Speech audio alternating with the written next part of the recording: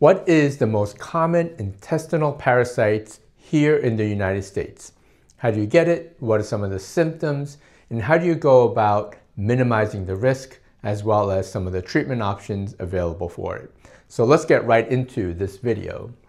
So the number one intestinal parasite in the United States is Giardia. It's a protozoan infection. There's approximately 1.1 to 1.2 million cases per year here in the United States. Transmission is fecal oral, basically contamination of water supply typically, and you're going to get it or you drink it, or surface contamination, or maybe somebody has it and goes to the bathroom and they don't wash their hands properly, okay? So fecal oral route, basically you're going to get the giardia in the cyst form. Basically it's, you know, very protective, so it's kind of floating around and it lives there.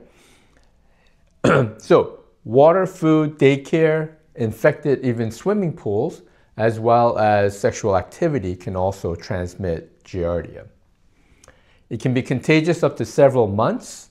Incubation period. So once you contract it, you may not have symptoms initially, but it might take one to seven days before you start to experience some sort of symptom.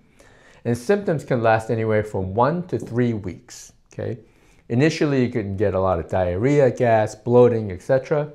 Abdominal cramping is a big thing where you're having just, you know, bent over pain, nausea, fatigue, and dehydration. Okay? There is a certain population, they might have some of this very temporarily, and then the symptoms go away and they become a asymptomatic carrier. So you got to look out for that. You can develop food sensitivities post-infection. So I've had many cases where patients would have a GI infection. They went somewhere, they got food poisoning, they, drank, uh, they swam in a pool or a lake that was contaminated, and they get this infection, whether it's Giardia or other types of infection. Once they get that infection and get it cleared up, either with a antiparasitic medication or antibiotics, whatever the mechanism is, they can often develop some sort of food sensitivity thereafter. And I think this is really due to an immunological disruption due to the infection. But you can develop things like uh, gluten sensitivity. You can develop uh, dairy sensitivity as a result of an infection, right? Another interesting thing is that these infections can also um, trigger irritable bowel syndrome, where you have just a lot of gas and bloating and discomfort, but not diagnosed with any disease. Or you can get IBD or inflammatory bowel disease. This can be Crohn's disease, there can be ulcerative colitis. I've had a few cases where people get infected and they develop an autoimmune disease related to that infection, or that infection is a trigger for the autoimmune condition. So you got to look out for these types of things. Okay, so testing. You can do stool exams and you can look at it under a microscope, etc. You want to do that for multiple days. If you don't catch it on the first round, you want to do a second or third round. Okay, or you can do an antigen testing. You have an EIA or a PCR test.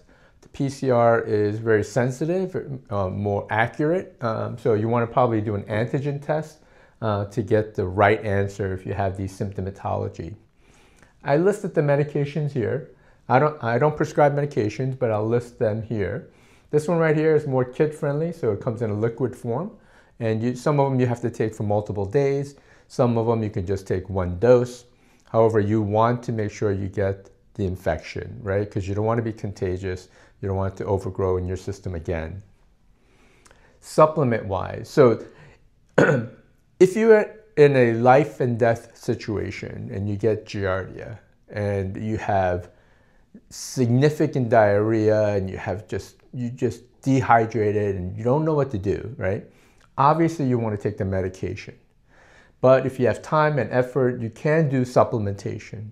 Sometimes it's nice to do the medication and then follow up with some sort of uh, nutritional protocol to make sure one, you got the infection, and two, you heal the gut.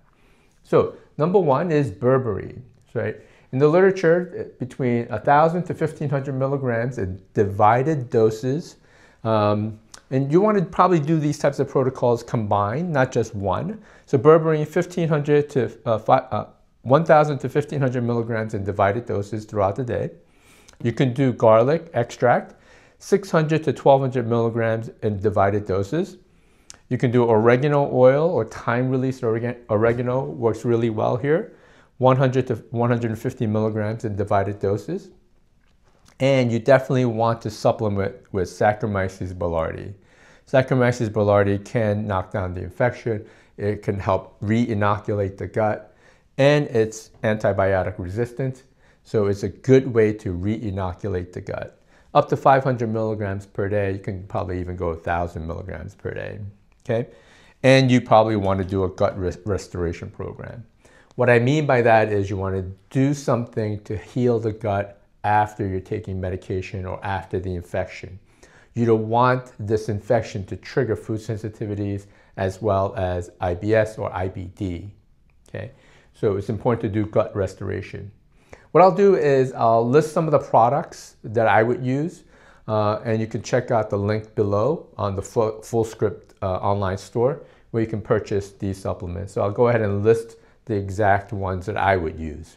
Okay, so it's important, make sure you do a gut restoration program after infection just to prevent IBD and IBS in the future. All right, my name is Dr. Jin Sung, We're clinical excellence meets excellent results, and we'll see you guys next week on the healthy side. Have an awesome day.